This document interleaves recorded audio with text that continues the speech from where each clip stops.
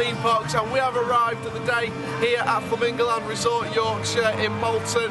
Now obviously I've not been here for a good few years now and the big attraction for this trip today is of course this, Sik, the brand new 10 looping roller coaster manufactured by Intamin opened just yesterday on the launch day. Obviously couldn't be the launch day yesterday however uh, it's great to be here this weekend to try it out on the opening weekend. Now, of course, I've been covering this ride for the last two, three years on the channel, right from down from the first rumour to the first hearings and the markings about this ride, the removal of the former rides, the construction of the coaster. We've covered this coaster from every single angle, and now I'm finally here for my first ride on the new roller coaster. So we're going to get straight in the queue line. The park is actually open about half an hour before it's actually scheduled to open, which is very, very cool. So fingers crossed, getting this ride as soon as possible. Give you guys some queue line footage. Check out the rest of the rides of the park today as well.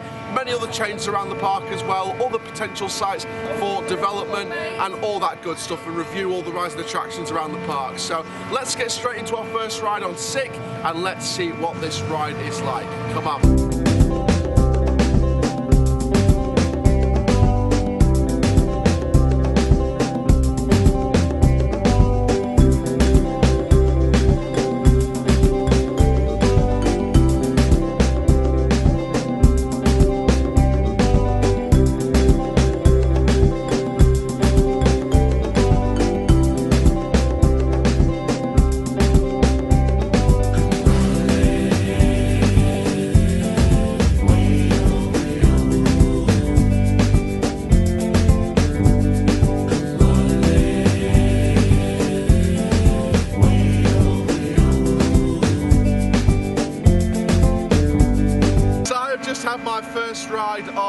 Sik, the brand new 10 looping roller coaster here at Flamingoland.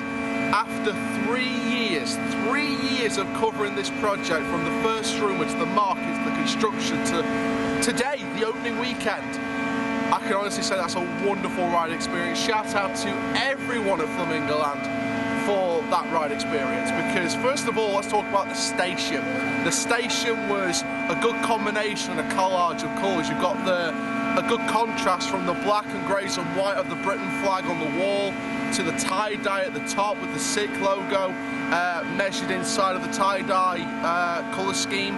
Uh, so I thought that kind of bunting was a nice collage from the, from the black and grey of the Britain flag in the station.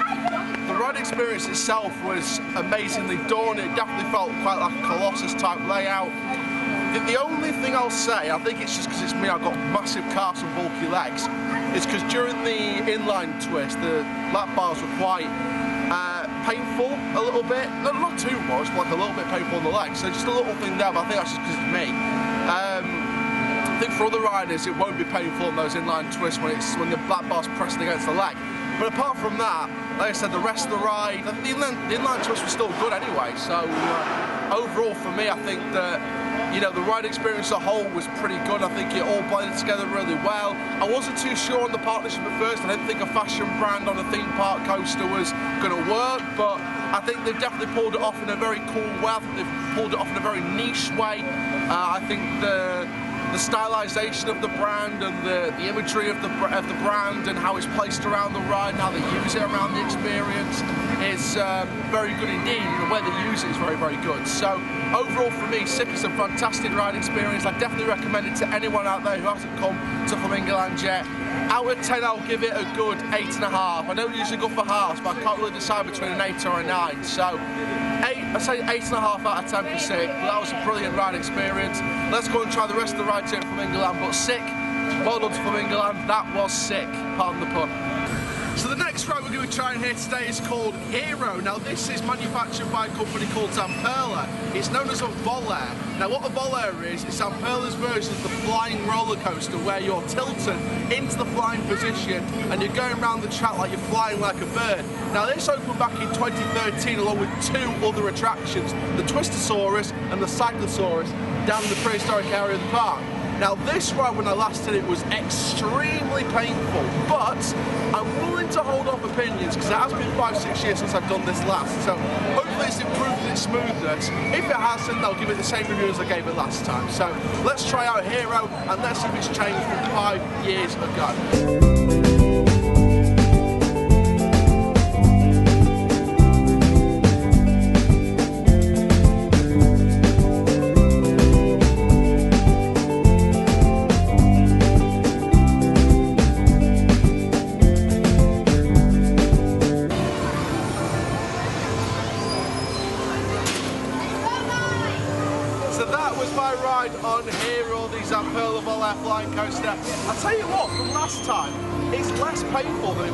I think they've definitely done something to the ride. I don't know what, but they've definitely improved something, whether it's the restraint, whether it's the actual system, track reprofiling. I don't know what they've done, but something about that ride was less painful last time, which is always good news. Uh, I still felt quite a bit in the shoulders here and there during some of the tight turns as well. And the inversions, there wasn't a lot keeping you in during the inversions, which is always good for free airtime sensations, but uh, not so good for safety. So uh, the padding itself, the grid at the back was a little bit iffy, but apart from that, like I said, it's better than it was last time, and I think they've definitely done something good to the ride. So uh, Hero is better than it was, which is good. Hopefully keeps improving its operations. Let's move into our next attraction, which I don't know what's going, that's going to be yet, but we'll deliver you the next attraction as we get it. Let's go.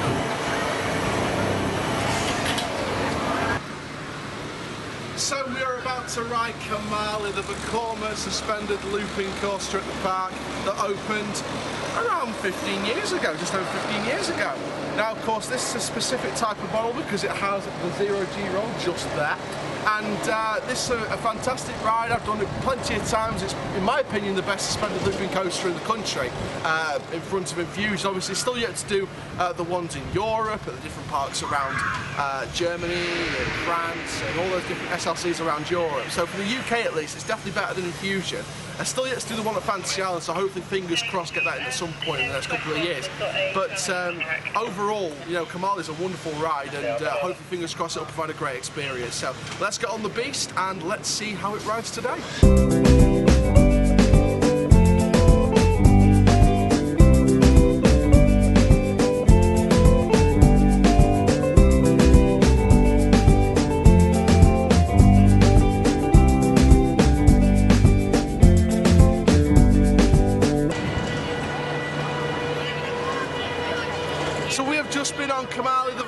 Suspended looping coaster here at Flamingo Land Resort Yorkshire. Very good ride. Uh, I think it's definitely improved its ride experience. I think that the uh, inversions gave a good sensation of experience. I think the G's on that was pretty good. Uh, I think the one thing I've always liked about Kumali is the theming and the paint jobs of the, the track and support. I like the whole African supports you can see behind me.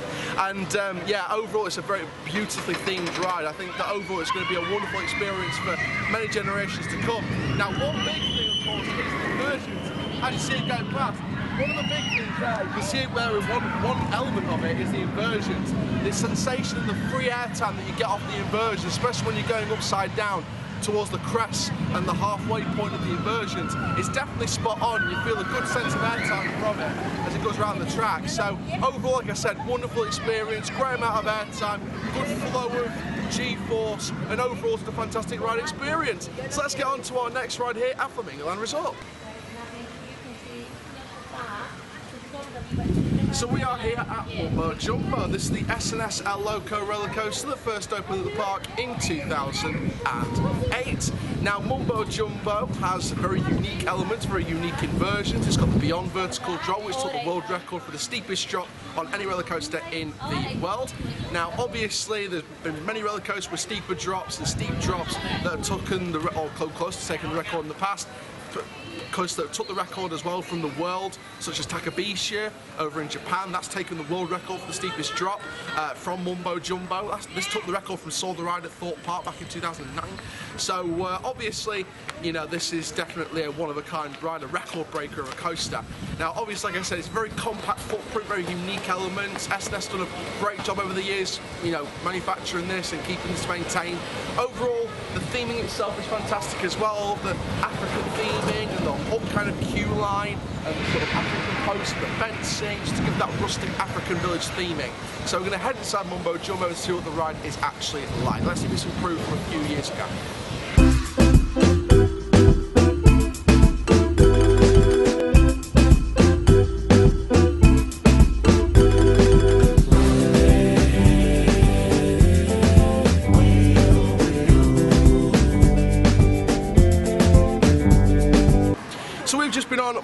Jumbo, the S&S El Loco roller coaster. Now, again, I think the shoulder uh, sort of harnesses at the top kind of give me a little bit of pain on the shoulders, but apart from that, very cool, tight turns, beyond vertical drop, gave you a really good sensation of airtime, and overall just a fantastic ride experience. Now the reason why we're standing here is because this is the old cable car station. Now, of course, the cable cars, as you can see, there's no cable car actually, you know, there's no line in there.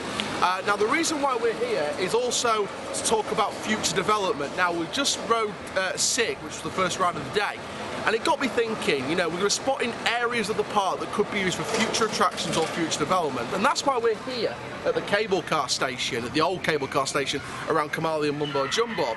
Now the reason why I'm here and the reason why I'm doing this here is because I think this could be the prime location for a brand new compact thrill ride or a family ride of some kind. You could be talking things like a Zamperla Nebulaz attraction, which has just opened at like the one that's opened in Drayton Manor in the new Vikings area. Um, you could also go for like a family ride, like maybe like a Go Jetters Vroomster Zoom ride in the CBeebies Land at Alton Towers. That kind of sort of child-friendly sort of swinging turning ride. Uh, a bit like Dumbo Flying Elephants as well at Disneyland Paris. So, maybe something like that could do in this beautiful location just behind me. You can give it a nice African name, nice African theming, and really, really combats the whole area. So I think a nice little family ride or a compact thrill ride could be a very good idea for the park. Now, another way that could go is the Zamperla Hawk attraction. If you don't know what those is, look at things like Lumberjack at Canada's Wonderland. It's that kind of new gen submission, if you like, Alton Towers, where it's not really doing the zigzaggy turns 360 degrees.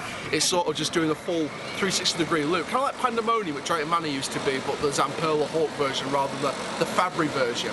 Now, obviously, there's, there's plenty more uh, time to discuss all of this. We're taking more footage of the cable cars station just to get a bit more of an idea on it and uh, we'll have more of a discussion in the future on the channel about future developments at Flamingo Flamingoland post uh, the Sik opening. But uh, I thought I'd just point that out today just to, to give you an idea for future development. We're going to take a look around the rest of the park as well. Any ideas about future development, we'll give you some site locations and some possibilities around the park for a separate video as well. But uh, overall, like I said, this could be a good area for future development for a brand new ride. So let's go to our next attraction. We don't know what that's going to be yet, but hopefully we'll find out as we get there.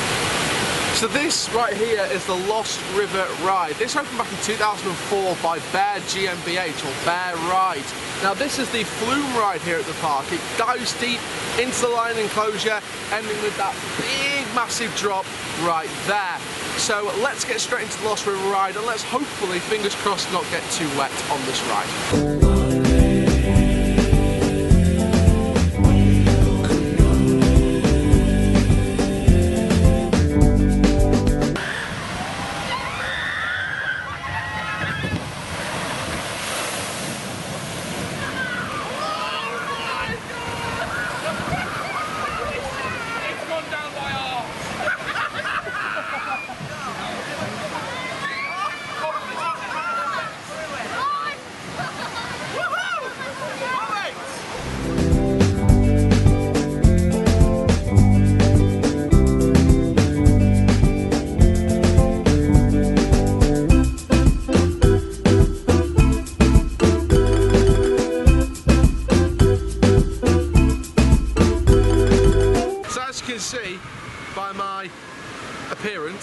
Just come off the Lost River Ride.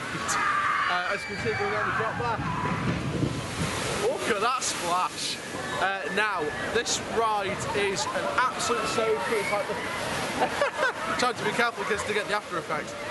It's very close to Tidal Wave in terms of the splash effect. If you've been, you've been on Tidal Wave at Thorpe Park Resort, you'll know the splash effect. Um, overall, I think the the whole ride experience was very, very good. I think a bit more theming here and there on the slow part, sort of towards the drop. I think that would be my only sort of feedback from it. I think just add a bit more theming, create a bit of a story around it, a bit more of a, a storied atmosphere around the ride, and you'd have a good attraction. But overall, I think it's all right already. I think, like I said, the drop was fantastic. The the slow movement around the exhibits was good, and that's the uniqueness of the ride. I like how it um, sort of interacts with the exhibits and then gets you ready for that ride element, that, that lift hill, the turn in the shed, hashtag what's in the shed, and the massive drop. Like I said, tidal wave feeling at Thorpe Park with that big, big drop. So overall, like I said, Lost River ride, very, very good. First time doing it, and I love the ride itself. So let's go to our next ride here at Flamingoland Resort. What a soaker.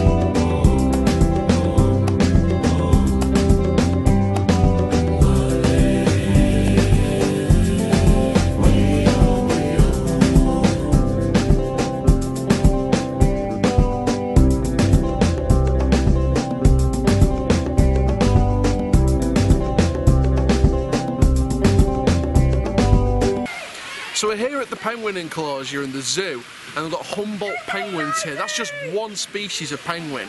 Overall, in terms of penguins, we've got 18 different species sharing similar characteristics.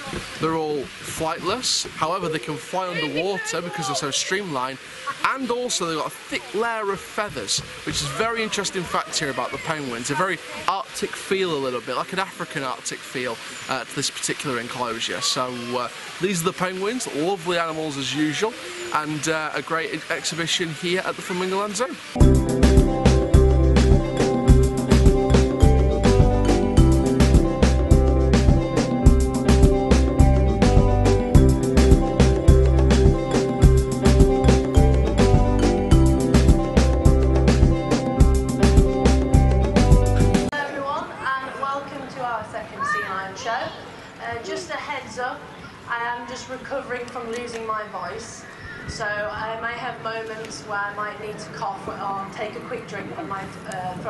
Dry. So if that happens, sorry, and bear with me. Now, we're going to be actually introducing you guys to two of the three sea lions we have here. Starting off with Merlin, and then we're going to introduce you guys to Marvin. Merlin is 18, Marvin is 22, so he's the oldest. And we've also got the third sea lion, which is Mateo, and Mateo is just four years old. So all bred in different zoos uh, in, in the UK and or in Ireland, and all male sea lions as well. Now Merlin, he likes to start off every show with a wave. So if you guys stick it out in the air, wave it at him. That's it. They get a wave back. now one more thing before I really show you uh, how clever Merlin is. And that is both me and Merlin love to hear the sound of clapping. and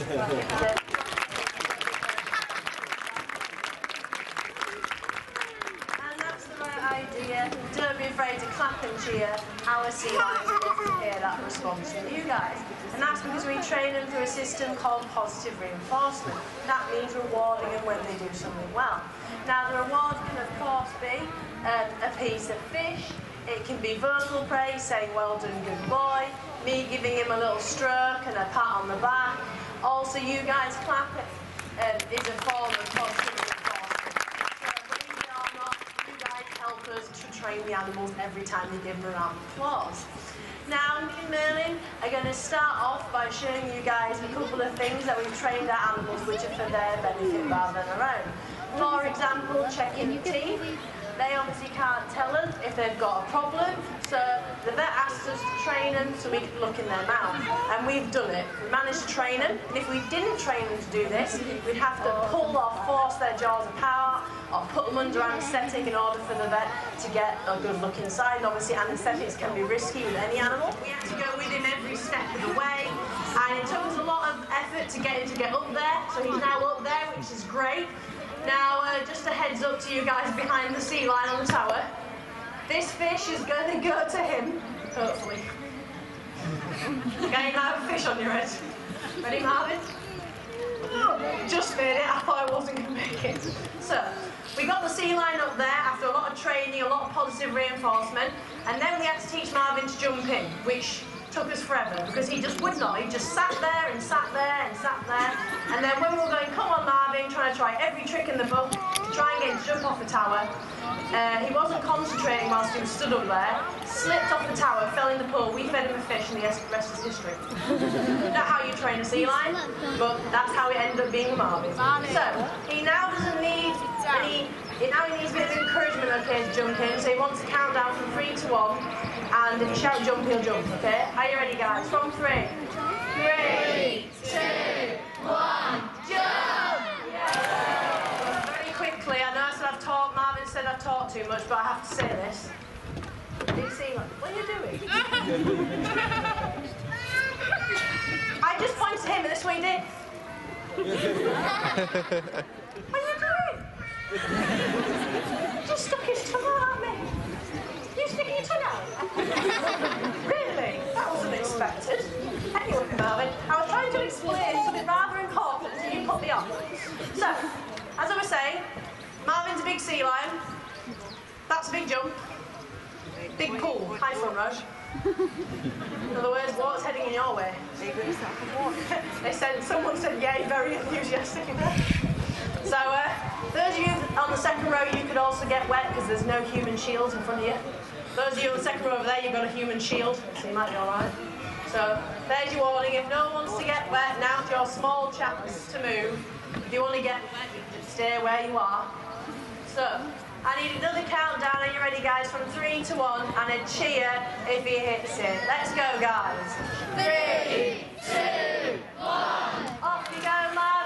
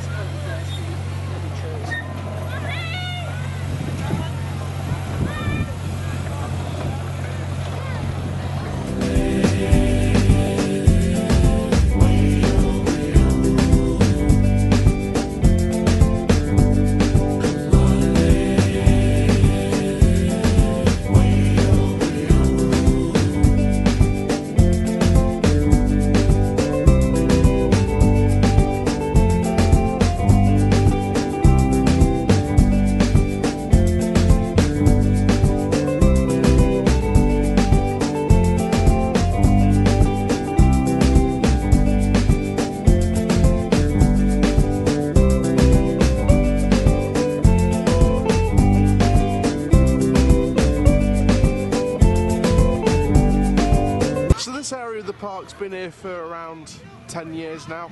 Dinostone Park. Sort of happened just after the pterodactyl got put in. So this is your prehistoric themed section of the park. Got the main shop. Got Twistosaurus here, which is the Zamperla Junior Twister roller coaster. It's got a queue of around two, three minutes, so not too bad. A few minutes at best. So, see what that's like. Got some other attractions around here as well.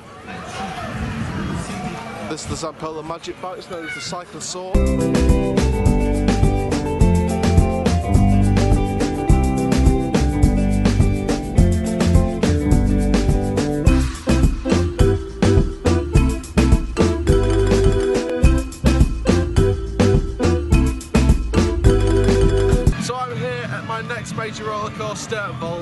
Velocity. Now this is manufactured by Vekoma, a European coaster manufacturer and attraction manufacturer. There is another version of these motorbike roller coasters, the most famous one in Europe being Booster Bike at Toverland. Now this one opened uh, quite some time ago, one of the first major permanent roller coasters of the current Flamingo Land that opened here at the resort. Now obviously it's my first time trying it today.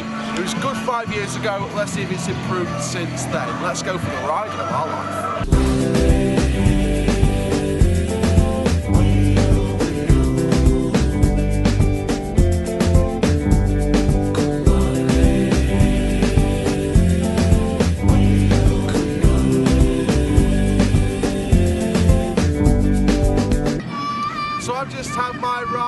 On that beast behind me, Velocity, the motorbike coaster. I tell you what, very, very fast, a little bit shaky at times, but I can expect that from an older roller coaster. Very good ride indeed.